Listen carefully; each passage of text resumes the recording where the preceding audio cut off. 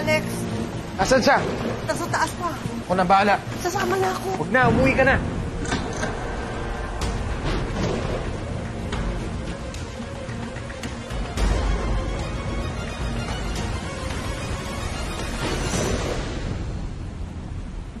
Sylvia!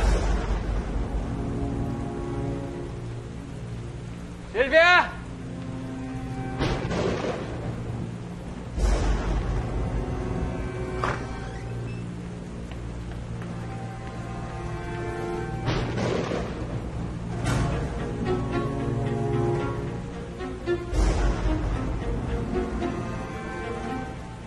Where are you going?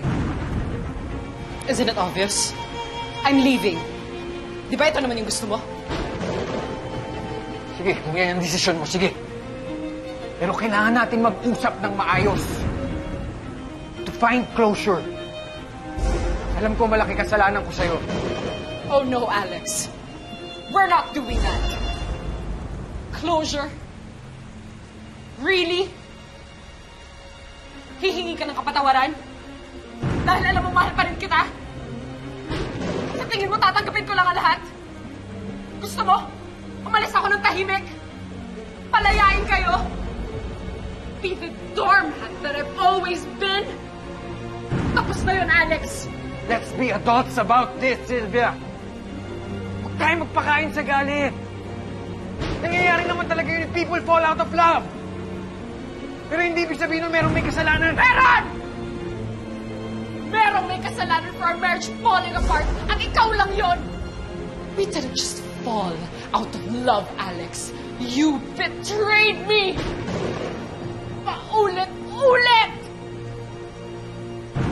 Sige! Sige! Tama ka, kasalanan ko. Pero namatayan din ako ng anak. Hindi ko ba sapat na parusa yun sa akin? Hindi! Hindi pa sapat yon! Maraming beses na kitang binigyan ng pagkakataon. Wala na akong tinirang respeto at dignidad sa sarili ko. Pero nagtiis ako. Nagtiis ako kasi hindi kita kaya mawala sa buhay ko. Ikababatay ko yon, Alex. Ikababatay ko yon. Pero anong ginawa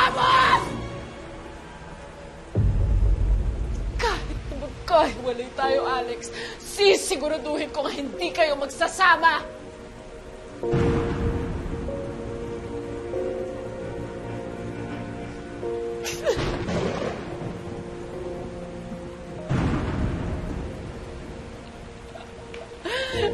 Look at you!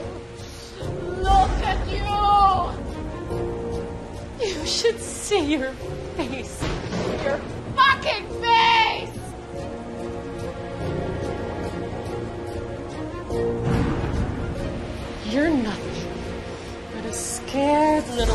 boy. Yan. Yan ang totoong Alex! Alam mo,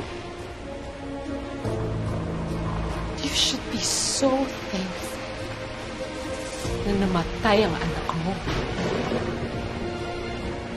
Because you don't deserve to be a father. No child deserves to have a spineless loser father like you. He's better off dead than with you.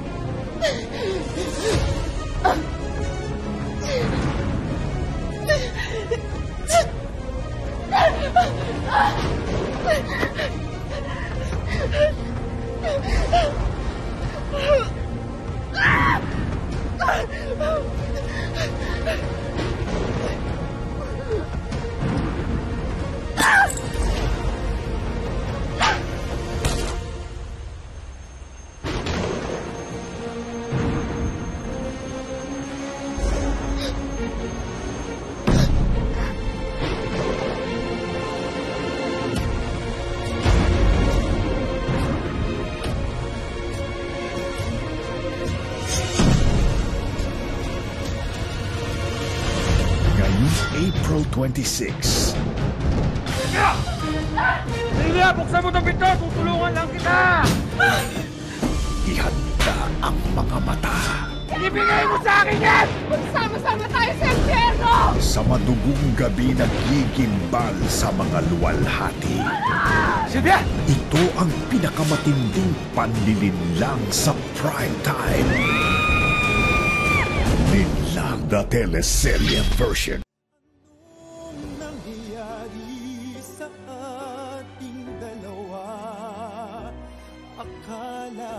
Noon tayo ay iisa Ako ba ang siyang nagkulang?